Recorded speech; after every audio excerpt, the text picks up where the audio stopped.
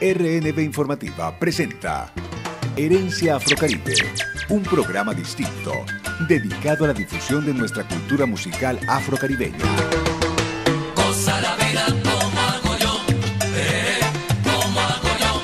Herencia Afrocaribe, con lo mejor de la salsa de colección de todos los tiempos. Prepárate, entra en clave y comparte con nosotros tu herencia Afrocaribe. Claro, con José Cheo Guevara por RNB Informativa.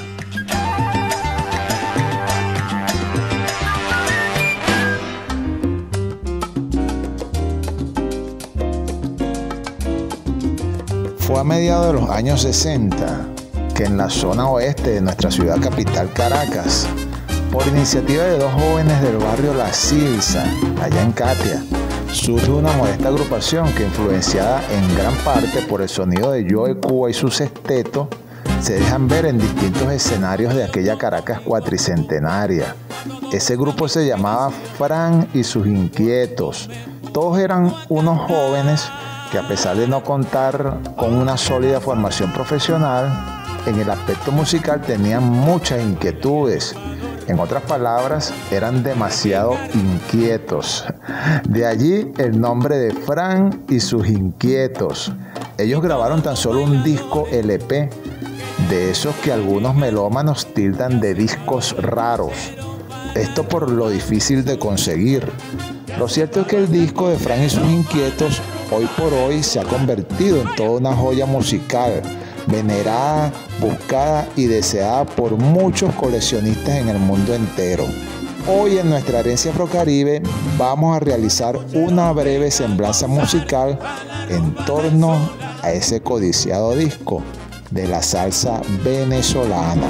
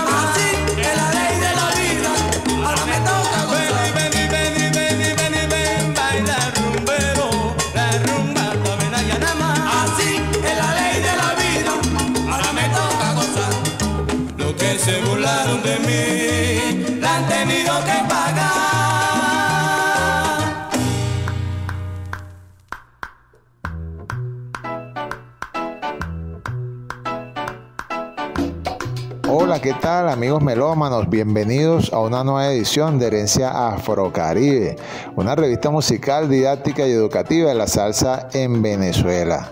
Estamos en un fin de semana flexible, mi gente, pero eso no quiere decir que nos vamos a descuidar. Vamos a disfrutar, pero eso sí, cuidándonos sin bajar para nada la guardia, puesto que Mr. COVID todavía nos acecha. Así que a cuidarse, pues ya todos saben lo que tienen que hacer, ¿ok?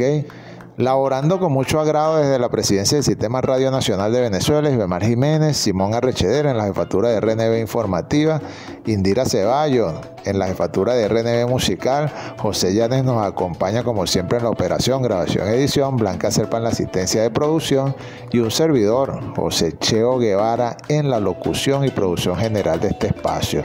Nuestro PNI es el 22407 y somos miembro activo y consecuente de la Asociación de Coleccionistas de la Salsa en Venezuela, Asoco Salsa. Hoy, tal y como lo escucharon en nuestra introducción, vamos a hablar un poco acerca de un disco de la salsa venezolana de aquellos dorados años 60, que desde hace mucho tiempo se ha convertido en una especie de objeto de culto para muchos coleccionistas en el mundo. Es un disco muy valorado tanto en lo afectivo como en lo monetario. Y esto que les digo se ratifica con la nueva edición en vinilo que salió recientemente en España de este disco prensado originalmente por el sello Fonograma en el año 1968. Me refiero al disco LP de Fran y sus inquietos, un disco bien raro, como le dicen muchos melómanos y coleccionistas, pero a mí en lo particular eso no me sorprende porque sé de la gran cantidad de grupos musicales que surgieron acá en Venezuela durante los años 60 y que de alguna manera se las ingeniaron para grabar. Nuestro país Venezuela es para los coleccionistas discográficos una mina de sorpresas. ¿Por qué? Porque hay muchas producciones discográficas perdidas en el tiempo y en el espacio. Nadie se imagina que existen. De allí el gran atractivo que tiene la salsa venezolana en otras latitudes. De manera que hoy vamos a disfrutar de un programa especial, un programa de colección recordando a la agrupación Fran y sus inquietos.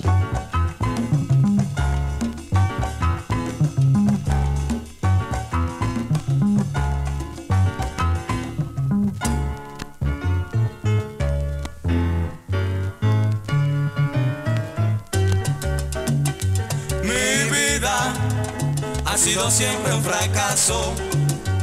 La gente siempre se ríe de mí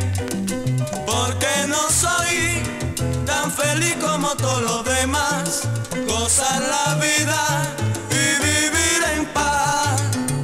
No tengo amigos a quien contarle mis penas. Todos me vuelven la cara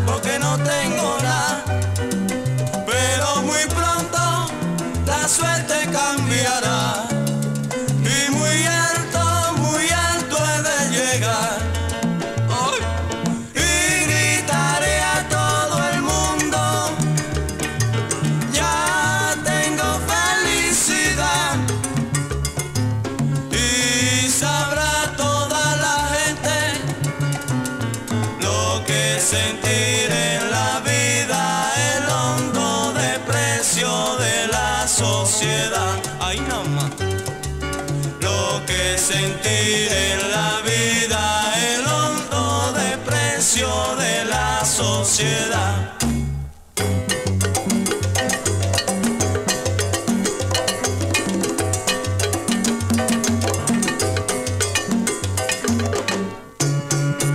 Ya tengo felicidad, mi guaguanco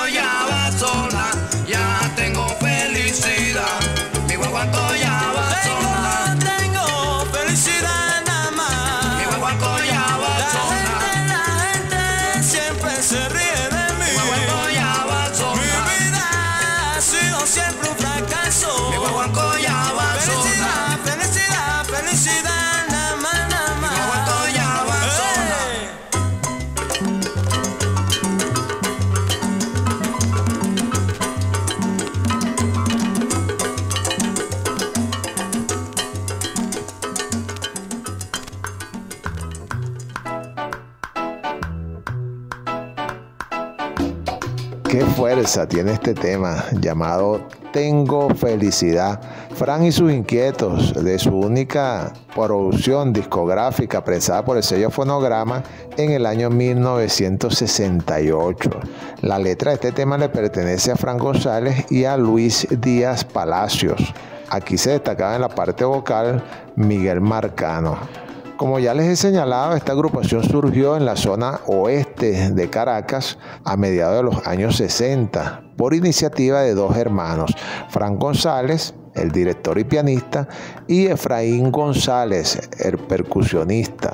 Ellos fueron seducidos por la música latina gracias a su tío Ángel Galindo, quien era un guitarrista de esos serenateros del barrio y amante de la buena música afrocubana.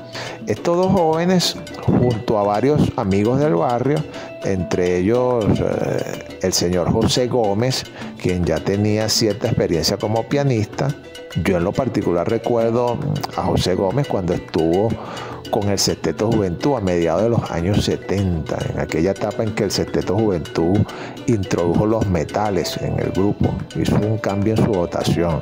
Allí el pianista era este señor José Gómez. A lo mejor yo aquí estoy nombrando a José Gómez y nadie mm, sabe de quién se trata, pero si digo Care Caballo, como era conocido en el argot musical para aquel entonces, todo el mundo sabe de quién se trata. así es la vida. o así son las cosas.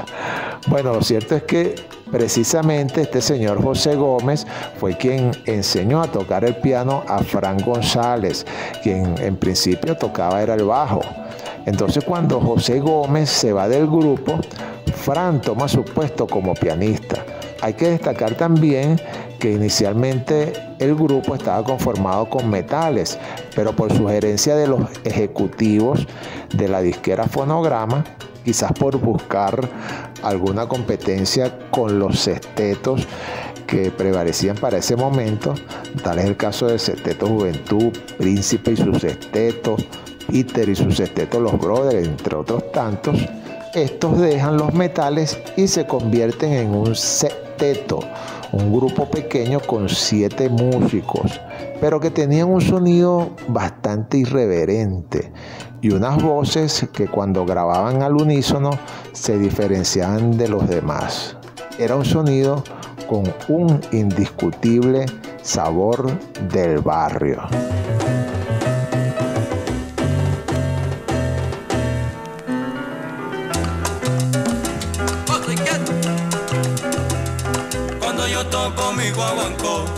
A todo gusta mi inspiración. Cuando me pongo a cantar, lo sonar.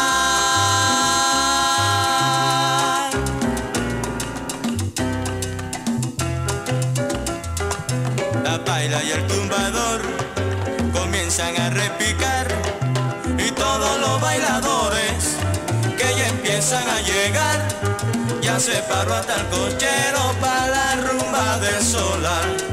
Ya se paró hasta el cochero para la rumba del solar. Y dice, ¿cómo? Regábate con los inquietos, mamacito. ¡Qué rico! Prepara el cochero, venga a gozar a la rumba del solar. Prepara el cochero, venga a gozar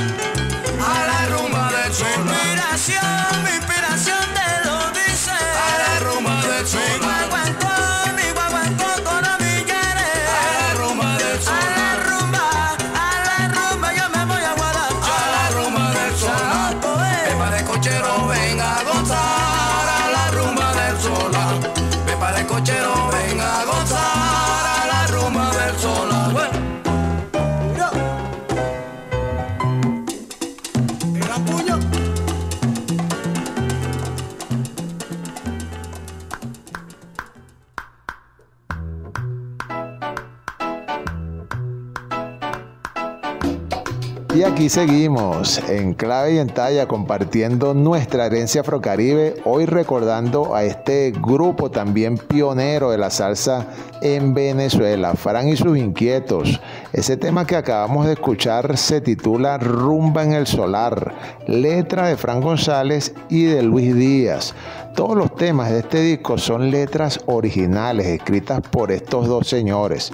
Bueno, contaba el maestro Fran González que la mitad de los temas del disco fueron creaciones hechas en el momento, allí eh, cuando se estaba grabando en pleno estudio. ¿Qué les parece si escuchamos a Fran González hablando un poquito acerca de este disco? Ese disco se grabó por una casualidad. Estábamos tocando en el, en Boulevard de Sabana Grande y se acercó una persona a la tarima y empezó a agarrarme por el ruedo del pantalón y no me dejaba tocar el piano. Resultó que era un representante de la disquera Fonograma. El señor se esperó que terminamos de tocar, me llamó y me preguntó que si teníamos 12 temas para grabar, que tenía el estudio de grabación. Listo, yo le dije que sí lo tenía, en realidad no teníamos los 12 temas, que le dije a él, pero no podía perder esa oportunidad. Me dio una orden escrita y la hora que para empezar a grabar y nos pusimos a trabajar sobre los arreglos de la música, la letra de los temas, los de coro, los cortes para completar los temas que faltaban y así fue que se hizo.